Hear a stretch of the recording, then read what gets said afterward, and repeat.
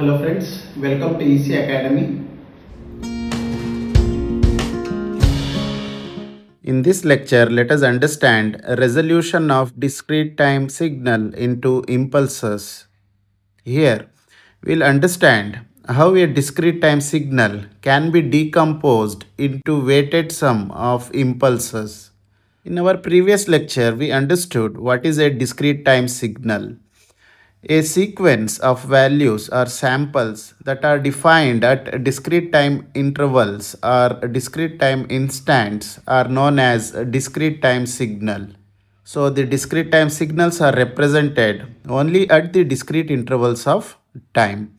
For example, if we take x of n is equal to 2, comma 4, comma 0, comma 3 and here the arrow mark for this sequence is at 4 which means this is the value of x of n at n is equal to 0. So this is the value of x of n at n is equal to minus 1 and this is the value of x of n at n is equal to 1 and this is the value of x of n at n is equal to 3. So this is an example for a discrete time signal. Now why we need a decomposition of signal? We need the decomposition of signal because it simplifies analysis and processing. So it will simplify the analysis of signal and also it will simplify the processing of the signal. It will break the signal into fundamental building blocks for easier manipulations. So it will divide or it will break the signal into different fundamental blocks so if we have different fundamental blocks, we can easily manipulate those blocks according to our requirement. So for this purpose, we'll go for decomposition of signals. The unit impulse function can be represented as shown in this figure. So from this figure, we understood that the unit impulse function is having the value as 1 at n is equal to 0 and for other values of n the impulse function is having the value 0. So the impulse function delta of n will be equal to 1 for n is equal to 0. For other values of n it will be 0. Now if we consider a delta function delta of n minus k so this is a time shift operation. So delta function should be shifted towards right side k divisions. So here minus represents shifting of signal towards right side. If we have plus sign that represents we need to shift the signal towards left side. So since we are having negative sign we need to shift this signal towards right side k divisions. So if we shift this signal towards right side k divisions we'll obtain this signal as you can observe here. So in this signal we have shifted the delta function k divisions and this is the representation of delta of n minus k. So to understand this, let us take few examples. If we take delta of n minus 1, so which means we need to shift the delta function towards right side 1 division. Similarly, delta of n minus 4 we need to shift the delta function towards right side 4 divisions. Similarly, we have written delta of n minus k, delta function shifted towards right side k divisions. And if we have delta of n plus 2, which means delta function should be shifted towards left side 2 divisions. So this you need to remember which is a time shift operation. Now delta function is represented as delta of n minus k which is nothing but delta of n minus k will be equal to 1 for n is equal to k as we have observed in this waveform. And delta function will be equal to 0 for n not equal to k. Now what is the importance of selecting this n is equal to k? Which means out of the given sequence we want to select only a particular value at that case, we need to multiply this sequence with delta of n function so that it can select a particular value. So here the delta function is shifted towards kth position so that we can select the particular signal at n is equal to k in x of n. So what happens? If we multiply this signal with x of n, so all other signal will be multiplied with 0 and the output will be equal to 0. Only the signal at n is equal to k will be multiplied with 1 so that we'll get the particular signal. That's why we can say n is equal to k will act as selector which means it will select the particular signal from the available sequence. So whenever we take delta of n minus k and for k if we take any value, such type of delta function is known as Kronecker delta function. Now let us understand the multiplication of signal with unit impulse. So if we take the signal x of n and if we multiply it with delta of n minus k, so it will isolate the value of x of k at n is equal to k. As you can observe here, we are isolating only this value of x of n when we are multiplying entire x of n sequence with delta of n minus k because we are getting only that value and all other values are 0. So we can write x of n delta of n minus k will be equal to x of k delta of n minus k. So as you can see x of n is entire sequence but we are getting the output only at n is equal to k. That's why we have written at the output x of k that is multiplied with delta of n minus k. That's why we can replace while doing the operation x of n with x of k because we are selecting the signal only at that particular value of n. So the impulse function picks out the value of x of n at specific time instant k. So only at specific time instant k will obtain the output x of k. Now let us understand summation of weighted impulses. A discrete time signal x of n can be expressed as sum of scaled and shifted impulse function as shown in this equation.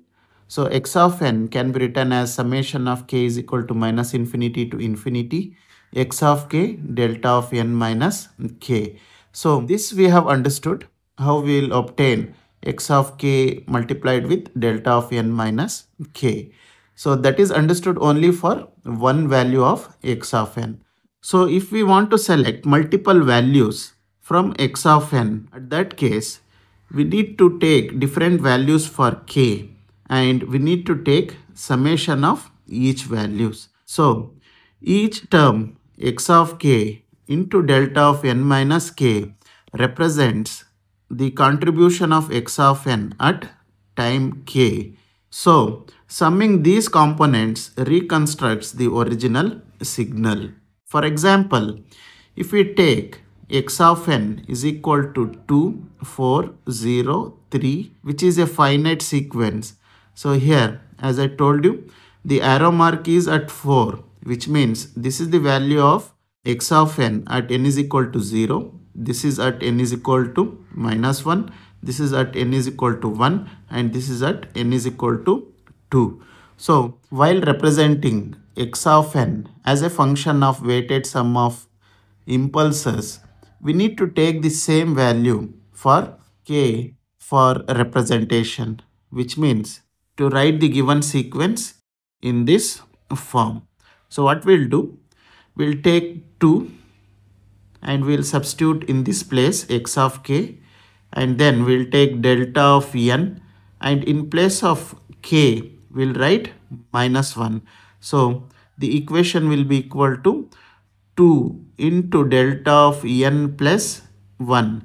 So that is what we have obtained. Since we are having other sequence also, in between we'll take the summation or plus sign and we'll write the next value which is 4 and in place of delta of n minus k so we'll put k is equal to 0 so we'll get delta of n. So the value will be 4 delta of n. And the next value in the sequence is 0 so 0 multiplied with delta of n minus 1 it will be equal to 0. That's why we have not written that sequence. And next value is 3.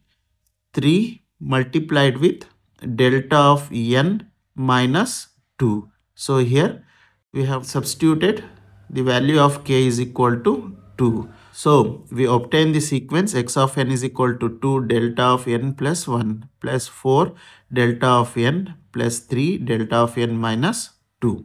So what you need to do? You need to take the same sequence at x of k and for delta of n minus k for this k value you need to substitute different values of k corresponding to the value of the sequence. So for the first value, you need to take k is equal to minus 1. For the second value, you need to take k is equal to 0.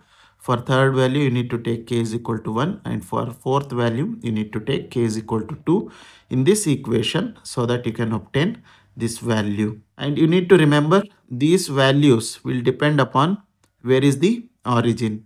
For example, if you have origin at 0, which means this is the value of x of n at n is equal to 0. This will be the value of x of n at n is equal to minus 1 and this will be the value of x of n at n is equal to minus 2 and towards the right side this will be the value of x of n at n is equal to 1.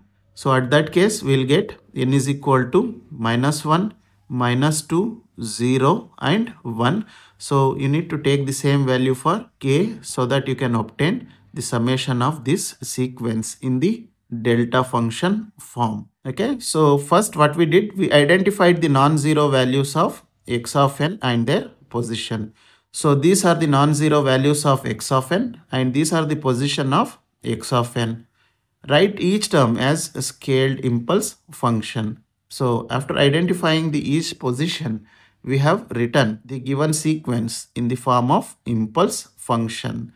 So there are different applications of signal decomposition, majorly in the field of signal processing. So the signal decomposition is the basis for digital filtering and transforms. So signal decomposition is the basis for digital filtering and transforms.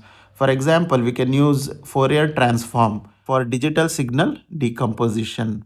It is essential for analyzing system in time domain. So to analyze the signal in terms of time domain, we need signal decomposition. What are the advantages? It will simplifies the mathematical representation. So mathematical representation are simplified. It provides efficient computation and manipulation in digital signal processing systems. So for efficient computation and manipulation, we can use the signal decomposition. So what are the real world uses? So we can use signal decomposition for audio and video compression and we can use for telecommunication and signal reconstruction. So finally, to summarize the thing which we have understood, the discrete time signal can be expressed as a sum of weighted delayed impulses. So as you can see, digital signal can be represented as the sum of weighted delays as shown in this equation. The unit impulse function serves as fundamental building blocks for signal reconstruction. So for signal reconstruction, we can use the impulse function, which is a basic or fundamental building block.